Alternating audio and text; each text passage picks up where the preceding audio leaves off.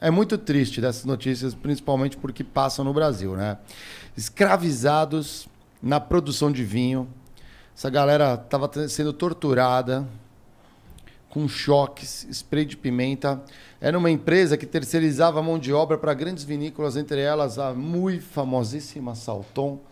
É, é um negócio que é triste de ler. E eu acho muito interessante porque eles, muitos jornais colocam assim, ó, trabalhos análogos à escravidão. Como se fosse análogo. Só que a escravidão, como a gente conhece tradicionalmente, aquela que aconteceu nos 1500, é, talvez não exista nessa mesma forma. E se hoje existe uma forma de trabalho como essa, não tem análogo à escravidão. É escravidão. Uhum, uhum. Não é porque é uma relação comercial, a galera tem PJ, não é isso. É, é porque. É um jeito bonito, é né? Que, na verdade, a, escra a, escravidão clássica, você simplesmente é chicote no lombo, você não oferece. O análogo à escravidão é aquela escravidão que Puta, o cara recebe, mas ele faz uma dívida, porque é como se ele estivesse é. sendo escravizado. Não né? consegue né? Existe uma aceitação do empregado. É, é, uma, é exato. Uma, uma aceitação meio que é. forçada. Tem uma relação trabalhista, mesmo que muito. Precária, precaríssima. Mas então, mas deixa, é legal porque. Não, legal, pelo amor não, de Deus, não, né? Eu fui no. Eu fui no. Eu, né? tive, eu tive o cuidado de ir no site das empresas. Vamos dar os, o nome aos bois aqui. A gente está falando da, da Salton, que eles se é. intitulam a família Salton, é. Garibaldi e Aurora. Né? Região de Bento Gonçalves. Região Bento de Gonçalves. Bento Gonçalves, no Rio Grande do Sul. Tive cuidado de ir no canal deles no Instagram. E Duas aí? delas, a Salton e a Aurora, soltou uma nota oficial. Dizendo que não compactua ah, não. E que, e que não sabiam ah. É, das práticas que estavam ocorrendo pelas empresas que foram terceirizadas para trabalhar, para fornecer mão de obra tra de trabalho para os campos de uva ah. ali no interior. É muito difícil, é. E é interessante porque. E a outra não se manifestou? A outra não se manifestou. Ah, não tem. É, é, não sei, não sei. Cada um foi numa estratégia ali. O ponto é o seguinte: vamos aos números agora. Boa. Em 2020, a Aurora, ela vendeu mais de 700 milhões de reais em vinhos e espumantes. A, a Salton faturou 500 milhões. Bebi alguns, ajudei ainda, olha que só. E a Garibaldi, 245, 244 milhões de reais. Então essas empresas, elas têm faturamento mais de um bilhão de reais e terceirizaram, eventualmente, para economizar com custo trabalhista, né? Porque quando você terceiriza, porque não é possível você não ter uma estrutura, uma empresa desse tamanho, não ter uma estrutura de comparação dos fornecedores, reputação, de práticas. Não adianta vir na, vir na mídia agora dizendo que não sabia. Isso é inaceitável, né, cara? Dá para passar o pano? Vocês, vocês passariam o pano para elas? Você conhece gestão de crise, Adriano? É, não, de jeito nenhum. E trabalhei numa indústria também de spirits, né? Trabalhei, não sei se a gente pode comentar aqui. Pode, é. pode. É. Manda ver. Traba trabalhei na Diageo uh, algum tempo. Ajudei e... muito a Diageo também. Você ajudou também? ajudei bom, bom consumidor. bom, bom consumidor, consumidor, uns Black Label. É, é, empresa, empresa, por sinal, muito bacana. Enfim, e existiam controles. É claro que os controles internos, você existia, existia auditoria, você vai auditar, e Mário, você sabe bem, muito bem disso, é. que a gente vai auditar terceiro, os processos. Enfim, agora o que faltou aí, e faltou muito, é processo. Uhum é, gestão de crise nem se fala, né? Porque é. o que a gente vê aí é, não dá nem para comentar. Bizarro. Mas o que faltou aí é muito controle, né? Então, e muito acompanhamento. Né? Faltou auditoria, faltou visitar o, a empresa terceirizada, né, fazer uma auditoria dos, do, do, dos seus empregados, enfim, treinamento, ou seja, é, de cabo a rabo. Carlos é um especialista em tech. Você acha que aquela contribuição social, essa parada ali, ela quando é Custos eliminada, ajuda, ajuda isso aí a, a melhorar a performance da empresa? financeira, performance financeira, né? É que na verdade tem é, é a destinação da aplicação desses tributos, Exato. né? Então, é o tudo isso, né, tudo que a gente recolhe, ele vai sendo para sustentar a máquina do governo, né? E lógico, né, uma das funções que o governo tem também é fiscalizar esse tipo de, de situação, né?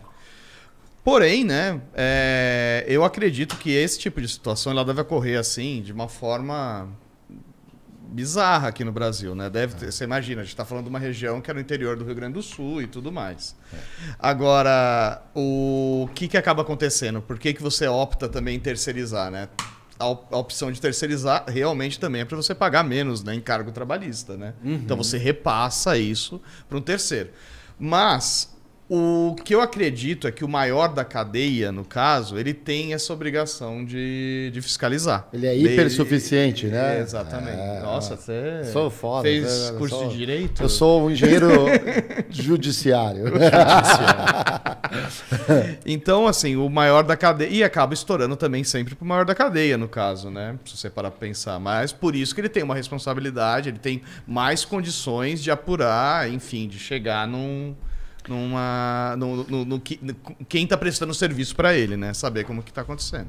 É, e, e, vale colocar fatos adicionais que a maioria dessas, é, mais que 200 pessoas, galera, 200 pessoas que foram encontradas em condições subhumanas, é, eles é, tinham ali, na sua maioria, nordestinos, indígenas, é, argentinos e menores de idade. Então, pessoas geralmente que estão, às vezes, desesperadas para arrumar um emprego, chegam no lugar, vêm de longe e percebe que de fato não era aquilo e, por algum motivo de necessidade extrema, se sujeitam a esse tipo de condição. Então, assim, diante de tudo isso, spray de pimenta, é, qual que for a outra? É, spray de pimenta. Borrachada, choque elétrico, comida estragada, que é o que a gente viu na reportagem aqui também. As habitações, deplorável.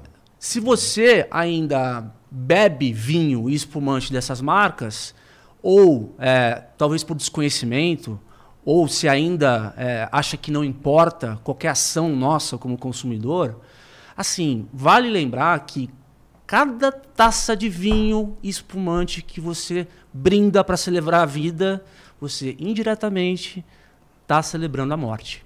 É. E uma das coisas mais sórdidas que a humanidade produziu, que é a escravização de pessoas e tortura.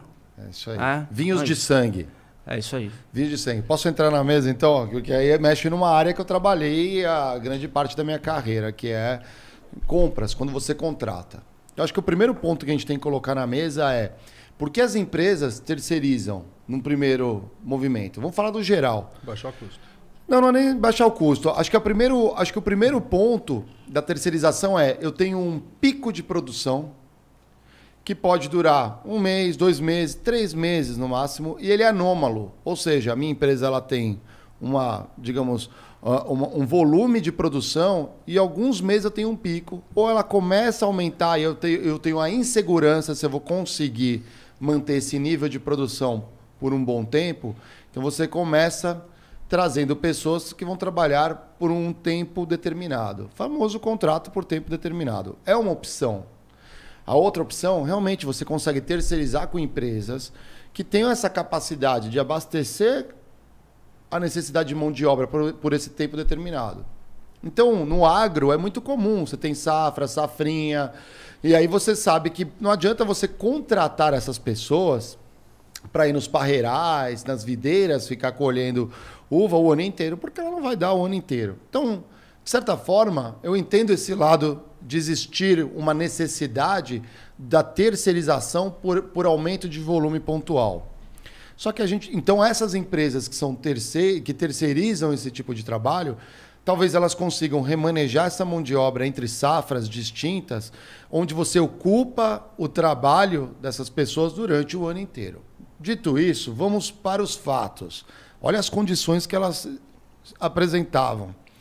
Não tem como você ter uma empresa que presta serviço para vocês hoje, pelas regras, a lei, sem que você mapeie essa relação de trabalho.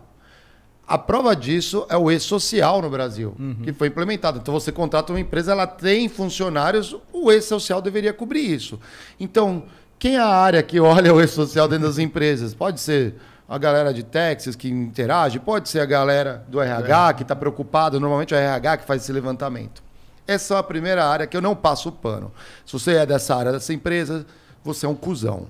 A segunda área, e incompetente. A segunda área É, eu falo mesmo, aqui não tem, é verdade, tem que ser dita. A segunda área é a área de compras mesmo. Pô, você está contratando um fornecedor. Você já foi visitar ele? Você vai a campo acompanhar ele? Você contratou mal. Você é um cuzão. A terceira área que a gente pode olhar é a área de qualidade. Pô, essa galera tá colhendo suas uvas, tá tendo uma operação. Que condições eles estão? Você não vai a campo, você conversa com as pessoas, e aqui eu dou um exemplo. Uma vez eu visitei os Estados Unidos, sim, Estados Unidos, parece tudo perfeito. Fui visitar um fornecedor meu na época de P&G visitar um fornecedor meu que trabalhava na Carolina do Norte. Na verdade, vários fornecedores da Carolina do Norte trabalhavam com reembalagem. Então eles pegavam o produto, reembalavam aquilo para uma ação promocional. Pois bem, cheguei lá, ou entrei na fábrica, eu, eu quero visitar a operação. Não vou ficar só no escritório trocando cartão. Quero visitar a operação. Cheguei na operação, olhei pelo fenótipo da galera, eu falei, essa galera ou é descendente ou veio do México. Me levou um alerta. Porque é muito comum nos Estados Unidos você ver a galera que veio do México e passando por necessidade de aceitar qualquer coisa. É a famosa mão de obra barata, né? Aí que tá, mão de obra barata. E aí que tá. Quando você, quando eu, aí eu falava já espanhol, e eu perguntei para o cara que estava me acompanhando, eu falei, como você se comunicam? Eles falam em espanhol, eles falam em inglês? Ele falou assim, é, eu não falo espanhol, mas tem o meu time aqui que fala em espanhol com eles. Pois bem, rodando na linha lá, uma hora eu parei, puxei um dos caras que estava trabalhando e o cara que estava comigo não falava espanhol, eu só em espanhol com o cara, tudo bom, tudo. Você recebe em dia aqui? O cara recebo. Essa galera legal contigo te ajuda? Não, tudo certinho aqui, tudo mais. Tá tudo perfeito, vocês estão registrados, isso, essa relação é documentada, tá tudo perfeito. Não tem nenhum abuso, vocês saem na hora, tem vida, tenho vida. Fiquei tranquilo. Olha que simples você ir na operação. Uhum. Você vê se o cara está tendo uma vida digna. É o mínimo. Se você não faz isso, não tem como. Fora quantas outras áreas que estão envolvidas nesse processo e descuidam. Porque olha só, a tua empresa vai crescendo uma Salton. Puta marca, o produto não é ruim. Você tem anos para construir marca e reputação e segundos para destruir tudo. Para destruir tudo isso. Warren Buffett. Né? É. Esse é bem né? outro tema que a gente vai falar. Vale a pena esse esforço, o lucro. Vale a pena você tentar empurrar essa condição. Ah, mas vamos falar assim, eu não tinha isso, esse repasse, esse lucro, quem está é a empresa terceira. Uhum. Não monitorou ela. Vale a pena você quando você traz um fornecedor, é um casamento você vai, se a sua empresa cresce, você quer ter bons fornecedores, eles vão crescer contigo. Uhum. Então você faz um trabalho muito ruim, sem compliance nenhum. E vale, e vale, lembrar, Mário, que essas empresas de Bento Gonçalves, a Salton e as outras empresas hoje, se não me engano, são exportadoras também, né? Elas uhum. exportam também os seus produtos, né? E como você falou, quer dizer, obviamente que faltou uma auditoria, faltou o principal que é visitar o seu fornecedor ou a sua empresa terceirizada, porque nessas indústrias e, e, e principalmente chão de fábrica, o, o, o, enfim, o que a gente o agro chamar, no caso, é. o agro no caso, segurança do trabalho é primordial, né? Então mais um aí para você colocar um, na tua lista. Cuzão, cadê mais um a segurança na sua lista, segurança do trabalho. Mas vocês sabem como que identificaram isso? Vocês viram o estopim? Não. Dois escaparam e chegaram na delegacia.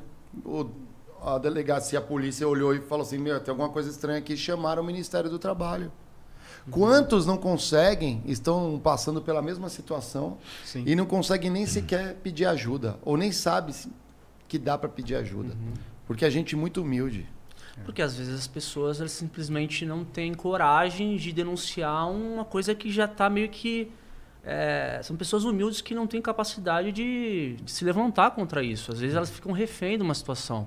Agora, a gente fala bastante de assédio, de assédio é, né? É verdade. É, a gente fala bastante de ESG, cara. ESG nada mais é do que princípios não financeiros para você mensurar o valor de uma empresa para a comunidade e para os seus acionistas. É. Então o que acontece?